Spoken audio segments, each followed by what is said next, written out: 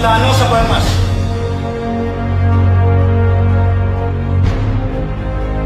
Μόνο όταν θα πεθάνουμε όλοι, τότε μπορεί κάποιος να ανέβει πάνω στο μας.